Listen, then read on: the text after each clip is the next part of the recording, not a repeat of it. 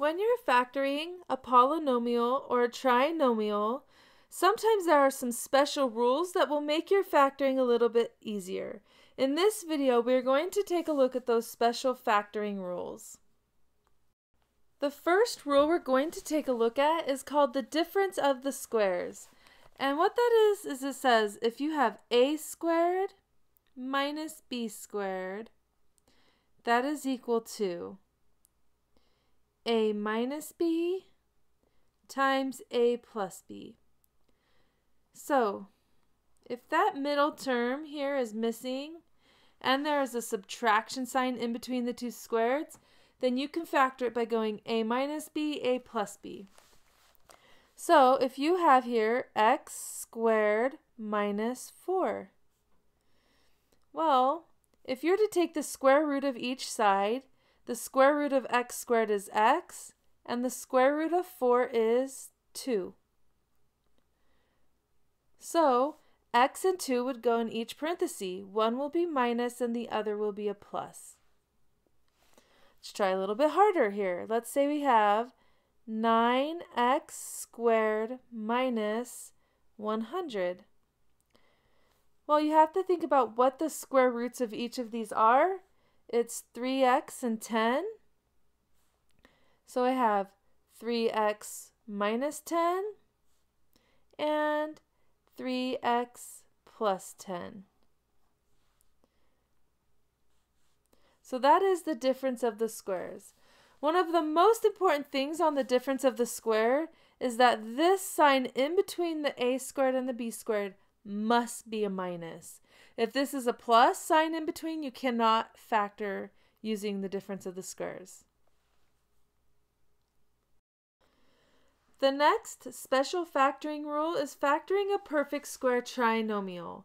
So if you have a perfect square trinomial, it's let's say we have a squared plus or minus 2ab plus b squared.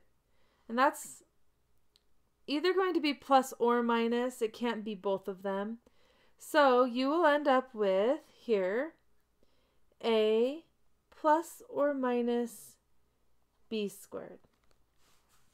A lot of times people don't like to use the perfect square trinomial rule. They'll just factor it how they normally would factor trinomial, and that's fine, but this will save you a lot of work if you can remember this one. So if I have here x squared plus 2x plus 1, what you have to do in order to determine if it's a perfect square trinomial or not is think about what the square root of x squared is and the square root of 1 is. So we have x times x and 1 times 1. If you're to take those, this 1 times 1, and add the 2, and you get the middle term, then it is a perfect square trinomial, where you have x and plus 1. And then we have our factored trinomial. Let's try a little bit harder one here. Let's say I have um, x squared minus 6x plus 9. Well, 9 is a perfect square, and that would be 3. If I go 3 plus 3, you get 6. Technically, it would be negative 3 plus negative 3. So I have x minus 3 would be the perfect square trinomial. So let's say I have 9x squared plus 4.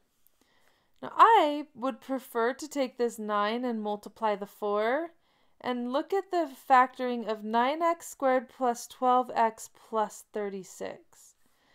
And that is a perfect square trinomial that can be factored into x plus 6 squared.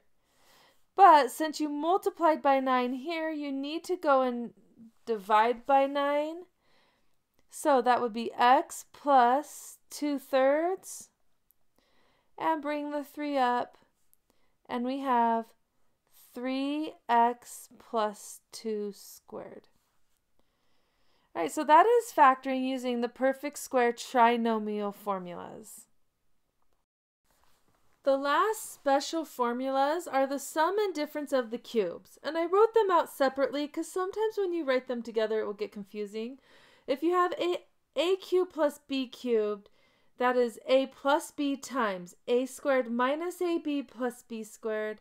And then if you have the subtraction a cubed minus b cubed, that is a minus b times a squared plus ab plus b squared. So this is how I work this formula out. If I have, for example, x cubed minus 8, I like to write the cube roots of each of those. So what my a and my b would be, my a would be x and my b would be 2. And because I have subtraction, you need to use the difference formula. So you're going to go a minus b so x minus 2, and then a squared, so x squared, plus a times b, so x times 2 is 2x, plus your b squared, so that's 2 squared, which would be 4. Let's try another one. Here I have uh, 27 x cubed plus 64. And I want to uh, factor this out. So you have here uh, an addition, so you're going to use the sum formula. My a and my b's will be the cube root of 27 is 3, and then the cube root of x is x, the cube root of x cubed is x, and then the cube root of 64 is 4.